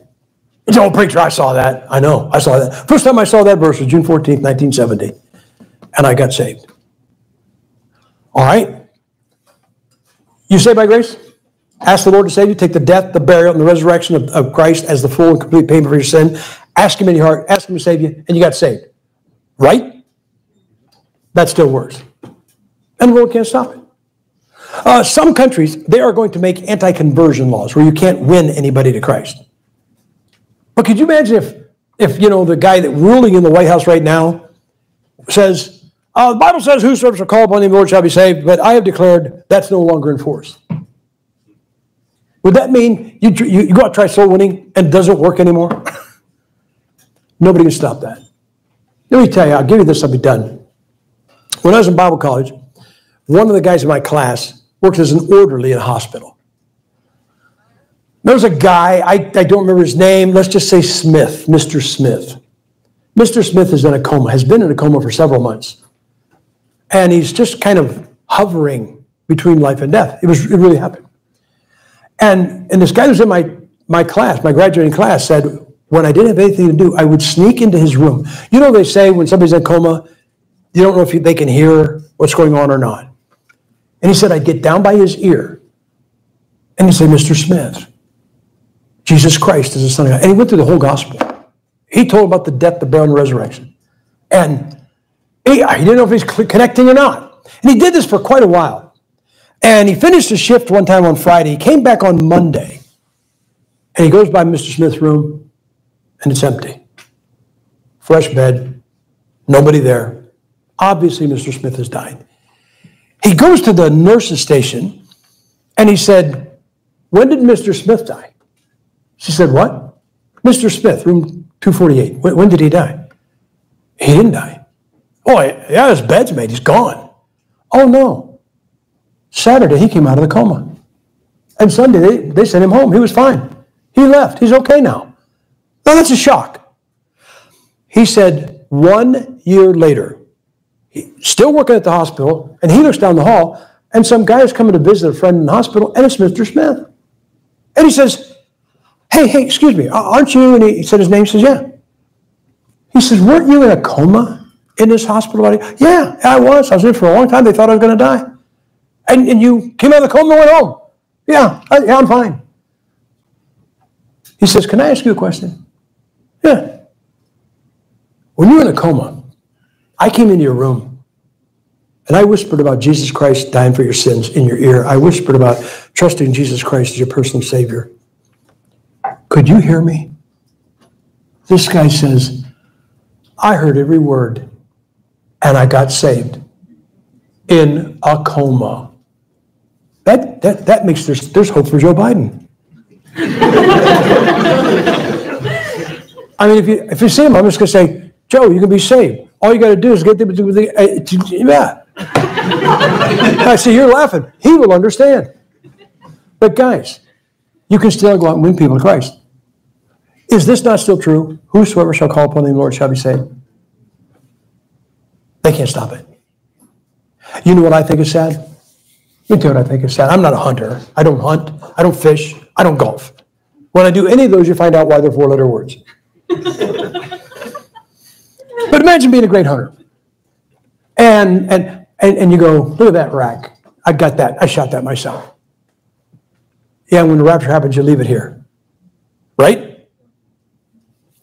Let me ask you a question this morning. I want two questions. One, are you saved? If you are here this morning, you haven't trusted Christ, death, burial, and resurrection as a complete payment for your sin, you can be saved today. But most of you are saved, right? Now, here's my question. I want you to think about this question. You're going to heaven, true? When you get there, will there be anybody that walks up and hugs your neck and says, Thanks for telling me about Jesus Christ? Thanks for leading me to Christ. My friend will meet Mr. Smith in heaven. And Mr. Smith will hug his neck and say, Man, thanks for what you told me when I was in a coma. Is, is there going to be one person that is going to say, I'm saved because of you? You're the guy that brought, you're the lady that brought the gospel, you're the guy that brought me the gospel. You understand what I'm saying? Success is not what you hang on your wall or park in your driveway. Success is when you get to heaven and somebody walks up and says, I never heard about Jesus Christ until you told me.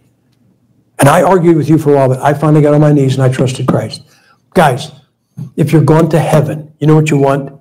You want somebody there because of your actions on this earth. That's what you want. I'll tell you this, I'll be done. I pastored a church in Auburn, New York for about five years. I, I say I got out of good behavior. And we needed a vacuum cleaner. And I went to a little place, maybe it's, maybe it's uh, not quite this big. If we, if we just went from the wall straight out, it was about that big. Little, little one, one man shop, vacuum cleaner salesman. And the guy that ran it was a guy by the name of Bob.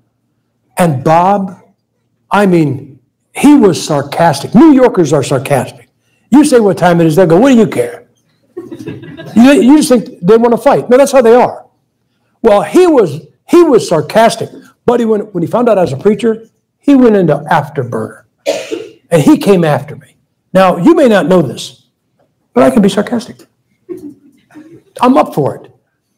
And he is after me, and I'm after him. We're standing in the middle of this little vacuum cleaners building, going after each other. Like two little terrier dogs. So what happened? I bought the cleaner. I don't care if you, I bought his vacuum cleaner. I left. I would come back. He believed some really stupid things. I wouldn't even need anything. Vacuum cleaner was working fine. I didn't need any bags or anything. I'd walk in, and as soon as I walk in, venom would drip. And he'd look at me, he'd go, What do you need now, preacher? And I tell him the truth. I said, Bob, I don't need anything. Vacuum cleaner's working fine. Then why are you here? I just want to see what new stupid thing you believe. You see, he didn't say, I sure did, because he believes some stupid stuff. I want to see what he's adding to the repertoire. I said, I want to see what new stupid thing you believe. And we're going back at it. So what happened? I won. Bob got saved. He told me years later, there were two independent Baptist churches in town. And the pastor of the other church was a big old big guy, burly, six, six foot something. That's like uh, 84 kilometers. And um, and when he, he went in for a vacuum cleaner too. And he said, when that guy walked in my shop, I thought, oh man, I'm in trouble. And he goes like this, cream puff. He said, I chewed him up and spit him out. He said, this is exact words. And then God sent me Sam Gipp. Bob got saved. We left in 1986 to go back in evangelism. And I'll never forget, when, when Bob got saved, he was divorced. His wife got saved. They got remarried. His son and daughter, uh, teenage son and daughter, they got saved. Bob got baptized into an, and got in an independent Baptist church. He lived in a, in a town 50 miles away, and there was a good church in his hometown, and he got active. He not only did that, he got him a nursing home ministry. And the first, the first Christmas we were gone, he sent us Christmas card. And he says, uh, here's what uh, here's what I've been doing. He was telling about him how happy him and his wife are, uh, how his son his son and daughter are doing. Told us about. He says, and he said uh, the pastor preached today. Today was Sunday, and it was great. But the biggest thing was when I got to go to the nursing home and preach the gospel. He was done. But he wrote one more sentence. Before he signed it, he put one more sentence in there. You know what he said? He said, and thanks for winning me to Christ. My goodness. Will you ever hear those words? You're going to heaven. Isn't that wonderful? But when you get there, will anybody say, thanks for winning me to Christ? Isn't somebody going to hug your neck and say, I wouldn't be here if you had knocked on my door? I wouldn't be here if you didn't come, keep coming back when I told you to get out of here? Is anybody going to be there to say, Thank you for winning me to Christ? And if you're saved, you know I don't understand? I don't understand.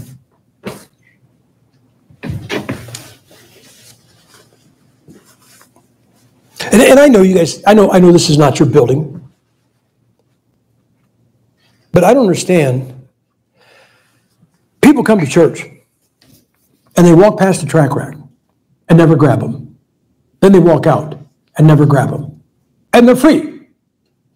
And then that week they go, was talking to somebody about the Lord. I needed a tract. I wish I had one. Well, who are you going to blame? I tell people, put these everywhere. Put them everywhere. Put them everywhere you can. You don't have to pay. If you look, I'm going to tell you something, guys. I, I, I teach preaching. And you know what I tell my young preachers?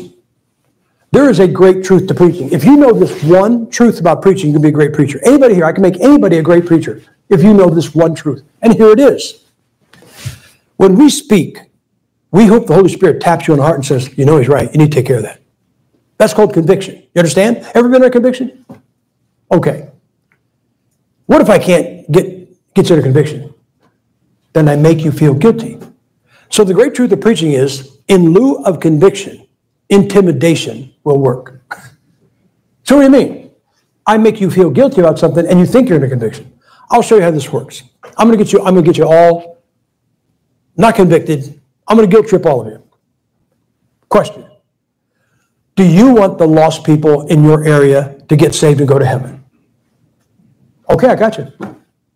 And how many of you witnessed to a hundred people in your town last week?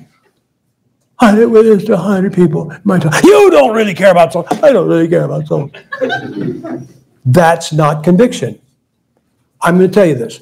If you don't pass tracts, I'm supposed to say, oh, you're, you're scared, you're a coward, you hate people, you don't care if they go to hell. I don't think that's it at all. I think some of you are intimidated by walking up to somebody and say, Can I give you this? So you know what I tell you? You heard, I'm gonna give you. Do you have a tract rack anywhere around here? You got, you got, you got some. Okay. Grab five. That's not even one per day. And between this Sunday and next Sunday, I'm not even tell you to hand one to a human being. But ask God, where can I leave these? That somebody will find them.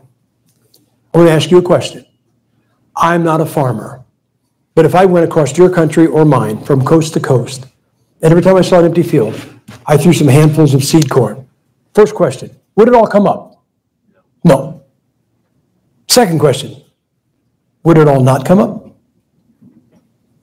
Did you ever, did you ever see a, a like a, a, a, field of uh, canola, and there's a, ro- a rogue stalk of corn sticking up in it? That's one of my tracks. put them out. But if you don't put, if I don't put any seed out, nothing grows. The man who attempts nothing is always successful.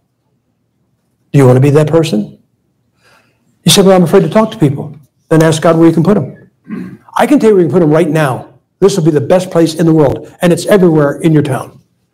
The tract delivery slot on a car. Say, where's the tract delivery slot? The guy has gone into a restaurant. Is it a little warm out here? You know, it's like what, 33 degrees? Water freezes at 33 degrees. What is wrong with you people? Anyway, or 32. Anyway, so the guy's got to go in a restaurant, and he so wants a Christian to come by and have him a gospel tract. But he has to go in the restaurant. So just for you, he leaves his window down that much so that you can put a tract in it. That is, you understand that's why he left his window down. Do you know how sad he's going to be if he comes back to his car and goes, oh, no left me a tract. But would it be something? You put a tract in there. Let me ask you a question. You going to heaven? Come on, you to heaven? And you get up there and you talk to some guy, you say, uh, how'd you get saved? Oh, you're not going to believe it. I was in Edmonton, Canada, and I went into a restaurant, left my window down that much. When I came out, somebody had tossed one of these on my seat, and I read it and I got saved. Put them out. You want somebody to get saved. I want you to stand with your heads bowed and your eyes closed. Guys, there's going to be the rapture, the blessed hope, and the world can't stop it. They're going to rebuild the third temple, and the world can't stop it. There's going to be a one world dictatorship. The world can't stop it. There's going to be a worldwide tra- uh, tribulation. The world cannot stop it. And anybody whosoever shall call upon the the Lord shall be saved. With your heads bowed and your eyes closed, I have two questions. Number one, is there anybody here? By an uplifted hand. You don't have to be afraid. I'm not gonna, I'm not gonna point you out or give any pressure to you. Is there anybody who would say, I do not know for a fact that if I died right now, I'd go to heaven, but I'd like to. Here's my hand to acknowledge that. Anybody like that? Okay, I kind of figured that. How many people would say this, preacher? I know beyond a shadow of a doubt that I'm saved, but I don't know when I get to heaven if I'm going to have even one person there that is there because I led him to Christ. I've never led a soul to Christ. Here's my. I'm not going to embarrass you, honest. I've never led a soul to Christ. Here's my hand to acknowledge it. Would you put your hand up right now? All right. I'm going to pray for you. Could you put them down? I'm going to pray for you. I'm, uh, guys, I am not going to call you names. I am not going to intimidate you. I'm not going to guilt trip you. But I'm going to pray for you. And I'm going to pray that God gives you a soul. You know what you can do if you just raise your hand? I know it sounds crazy. Ask God for an easy one. I hadn't led a soul to Christ for a while. I said, Lord, give me an easy one. And, uh, and, and this kid, I led this little kid to the Lord. Almost a couple of weeks later, I said, well, that's an easy one. Ask God for an easy one. Grab some tracks and put them out. Be determined that when you get to heaven, someone will be there to hug your neck and say, thanks for winning me to Christ. The antlers won't matter. How many grandchildren you got won't matter. How much you made every week won't matter. Who's in heaven because of you? I'm going to pray. The piano play. If you need to talk to the Lord, that's what church is for. You are here to be edified. You are here to be exhorted. You are here to be made perfect in the Lord. Not sinless, but perfect. Maybe this morning you need to say, Lord, maybe there's somebody here and you have been somebody Christ, but it's been a long time. Maybe you need to get back on the horse. Get back out there. Get back out there, start knocking on doors again and say, Lord, I need to get somebody saved. Father, thank you for Jesus Christ. I am here because of Jesus Christ. And he didn't even come here for me, came here for the Jews. I am not glad that the Jews rejected Jesus Christ, but I'm certainly thankful that when they did, you had a divine plan B for him to go to the Gentiles. And here we are. And we are rejoicing. We sing, God. You heard us. We sing about what your son did for us. No one raised their hand here that they were lost. If there's a lost person here, please touch their heart, Father, because they need to be saved. Horrible thing, God, to go to hell from church. But some hands went up of people who've never won anybody to Christ. They're saved. And there's probably people here that are saved and have won somebody to Christ, but it's been a long time. I want to pray for these people. I'm not going to put them down, God. They're good people. They, they I, they're here in church. They have stayed here a long time because I preached so long. I'm so sorry. But give them an easy one. Help them. Help them get some gospel tracts and put them out. They don't have to talk to another human. Find some way they can put those tracts out. God, I pray for the people that raise their hand who've never won a soul to Christ. I pray they win one before you come back. And for those who have, but they haven't won anybody for quite a while, I pray, God, you speak to their heart and they get back in the saddle and they get back winning people to Christ so that when they get to heaven, how many here, God, when they step into heaven, will have anybody hug their neck and say, Thanks, I'm here because of you. So that is the, the invitation today, God, that your people would be determined to serve you and win people to Christ until he gets here. In Jesus Christ's name I pray. With your heads bowed and your eyes closed as piano plays, if you need to talk to the Lord, now's the time. Uh, if you want to come up here and kneel, that's what you do. If you want to kneel at your chair, sit down, wherever the case is. Lord, I've never won a soul to Christ. I want to win a soul to Christ. Lord, I haven't won a soul for a long time. I want somebody.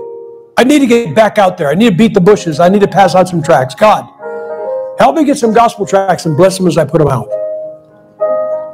God, when I get to heaven, I want somebody to hug my neck and say, Thank you. Thank you. Thank you. I'm here because of you.